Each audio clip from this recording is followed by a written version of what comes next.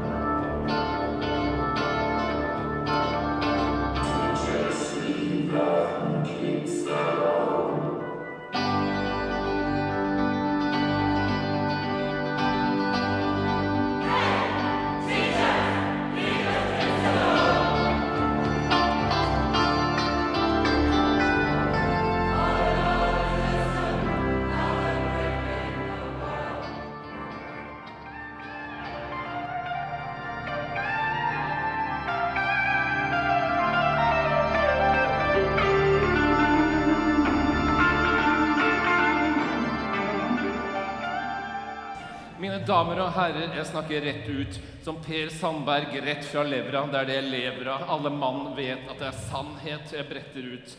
Vi er samlet her, ikke ramlet inn tilfeldig fra gata. Vi er unge og gamle fra forskjellige sosioøkonomiske strata, men av samme sinn. Vi vil ha det svære, ikke pinglete, ikke skramlete, men det største av alt man kan spille på.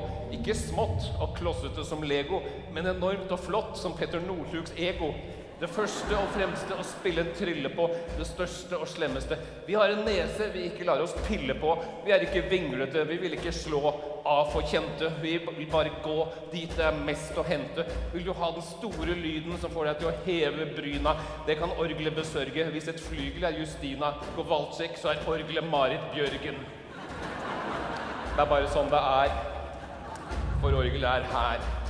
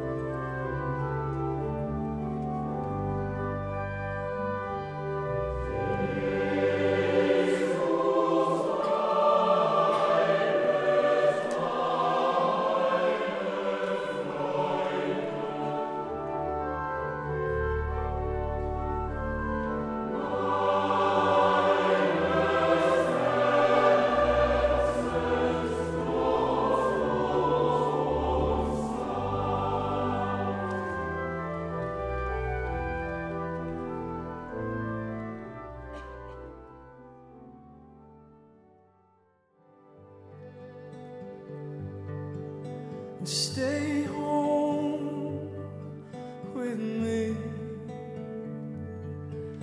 Never look back.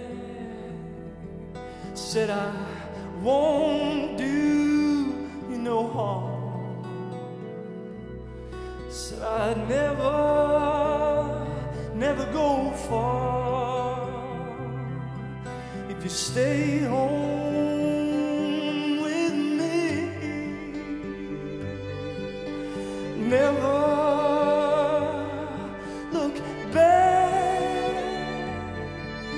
Said I won't do